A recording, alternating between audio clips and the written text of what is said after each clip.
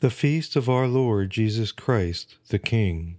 In his encyclical of December 11, 1925, His Holiness Pius XI denounced the great modern heresy of laicism. Laicism refuses to recognize the rights of God and His Christ over persons and peoples and organizations, the lives of individuals, families, and of society itself, as though God did not exist. This laicism ruins society because in place of the love of God and one's neighbor, it substitutes pride and egotism. It begets jealousy between individuals hatred between classes, and rivalry between nations, as we see in our world today. The world denies Christ because it ignores his royal prerogatives. It must be instructed on this subject. Now, a yearly feast can attain this end more effectively than the weightiest documents issued by ecclesiastical authority. The Holy Father has instituted this new feast to be a public, social, and official declaration of the royal rights of Jesus as God the Creator,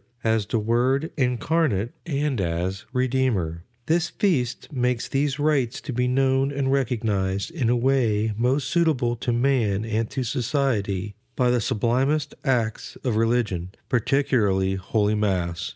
In fact, the end of the Holy Sacrifice is the acknowledgement of God's complete dominion over us and our complete dependence upon Him. This act is accomplished not only on Calvary, but also through the royal priesthood of Jesus, which never ceases in his kingdom, which is in heaven. The great reality of Christianity and of Christ the King is not a corpse hanging from a cross, but the risen Christ reigning in all the glory of his triumph in the midst of his elect who are his conquest in heaven. Let us now look at a different perspective of Christ the King. We must go back to when Christ lived and was being judged by Pilate. Here is your king. Pilate offers the Jews to recognize and proclaim Jesus as their king. The Jews make their choice. We have no king but Caesar, they shout with satanic fury. Caesar will be their king, and Jesus will be put to death. The Eternal Father perpetually presents to the world the divine Redeemer present and alive in the Eucharist, saying, Here is your King. Here is your King to be adored, to be loved, and to be served. At the same time, Caesar presents himself to reign over the hearts of the Christian. Caesar is the world, with all its demands, its maxims,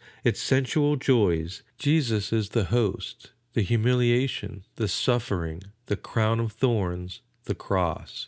It is not possible for you to remain long in indecision. You must make your choice between Jesus and the world. You must rally to the flag of one or the other. May Christ's Eucharistic reign, the reign of his sacred heart, come into the world to save our souls. May Christ become the King of peoples, the King of families, the King of individuals.